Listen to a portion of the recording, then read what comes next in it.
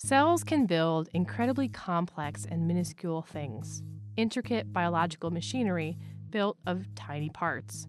Complex structures like these have yet to be matched by artificial means.